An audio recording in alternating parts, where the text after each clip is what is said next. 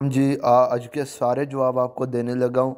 जैसा कि आपको पता होगा कि पहले का था पाँच, फाइव, ठीक है, दूसरे का है येलो, जर्सी जो है येलो कलर की है, पिशावर जलमी की, और तीसरे का भी आप गौर से सुनिएगा, तीसरे का टू है, दो विकेट्स होती हैं पिच पर, ठीक है, जल्दी जल्दी कर लें, दो पिच होती हैं, और चौथे का आपको बता रहा हूँ, चौथे का थ्री है थ्री पर क्लिक करना आपने इससे आगे, चौथा जो होगा। ठीक है? और पांचवा सवाल जो है वो भी वेरी इंपॉर्टेंट गौर से सुनिएगा।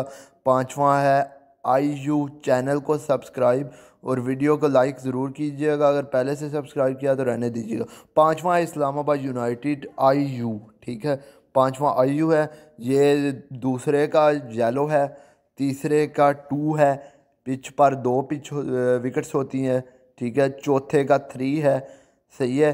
और पाँचवें का जो है वो आई यू है यानी इस्लामाबाद यूनाइटेड।